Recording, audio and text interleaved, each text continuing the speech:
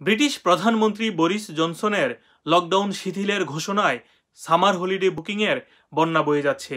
এক রাতেই বুকিং বেড়েছে শতকরা পাঁচশো ভাগ। এই তথ্যটি ছাড়াও স্কটল্যান্ডে লকডাউন শিথিল সহ গুরুত্বপূর্ণ কিছু খবর রয়েছে। আশা করি আপনারা সাথেই থাকবেন। হলিডে ফার্ম এবং এয়ারলাইন্স প্রতিষ্ঠান জানিয়েছে, আন্তর্জাতিক ভ্রমণের উপর থেকে নিষেধাজ্ঞা তুলে নেয়ার সংবাদের পর বুকিং বেড়ে গেছে। জুলাই মাসে গ্রিস, সাইপ্রাস, মেক্সিকো, তুরস্কর মতো দেশগুলোর জন্য বুকিংয়ের বন্যা বয়ে যাচ্ছে বলে জানিয়েছেন যুক্তরাজ্যের সবচেয়ে বড় হলিডে ফার্ম টুই।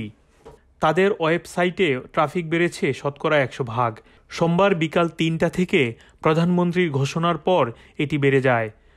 যুক্তরাজ্য ভিত্তিক হলিডে ফার্ম হোসিজন্স এবং কটেজ ডট কম মালিক বলেছেন, হলিডে বুকিং রেকর্ড দশ হাজার ছাড়িয়েছে এক রাতে। হোসিজন্সের প্রধান বাণিজ্যিক কর্মকর্তা সাইমন এলথাম বলেন, গত বছর একই ধরনের ঘোষণার পর প্রতি এগারো সেকেন্ডে বুকিং সর্বোচ্চ পর্যায়ে দেখা গেছে। কিন্তু এবারের চাহিদা প্রত্যাশার চেয়েও অনেক বেশি এবং এরই মধ্যে সব রেকর্ড ভেঙেছে। বিমান সংস্থাও একই তথ্য জানিয়েছে। ইজিজেড বিমান জানিয়েছে, ফ্লাইট বুকিং তিনশো ভাগ বৃদ্ধি পেয়েছে। বরিস জনসন সোমবার ঘোষণা করেন, বৈশ্বিক ভ্রমণ টাস্কফোর্স বারো এপ্রিলের মধ্যে একটি প্রতিবেদন পেশ করবে। কীভাবে আন্তর্জাতিক ভ্রমণে ফিরে যাওয়া যায়? তারপর আন্তর্জাতিক ভ্রমণের উপর থেকে নিষেধাজ্ঞা তুলে নেওয়ার সিদ্ধান্ত নেবে। কিন্তু সতেরো মের আগে নয়, জানিয়েছেন প্রধানমন্ত্রী। এদিকে স্কটল্যান্ডের লকডাউন শিথিলের ঘোষণা করেছেন ফার্স্ট মিনিস্টার নিকোলা স্টার্জিয়ন।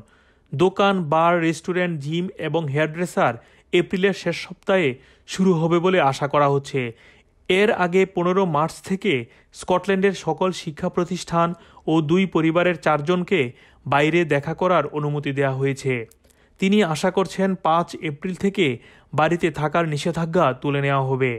স্টার্জিয়ন বলেন, স্কটল্যান্ডের উদ্দেশ্য ছিল এপ্রিলের শেষ সপ্তাহ থেকে পুরোপুরি নিষেধাজ্ঞা তুলে নেওয়া।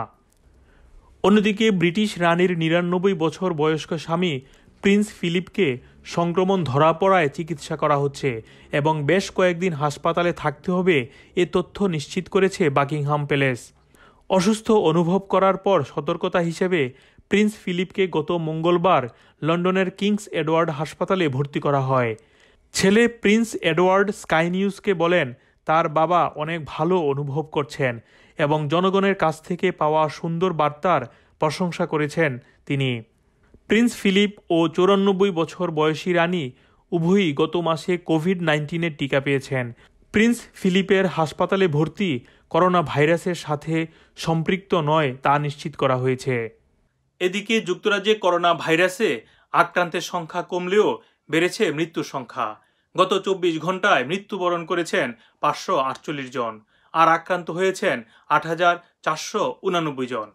আর যুক্তরাজ্যে করোনা ভাইরাসের টিকার প্রথম ডোজ নিয়েছেন এমন লোকের সংখ্যা এক কোটি আশি লাখের মতো, যেটি প্রাপ্তবয়স্ক মোট জনসংখ্যার শতকরা চৌত্রিশ ভাগ। আপনারা সবাই ভালো থাকবেন। আল্লাহ হাফেজ।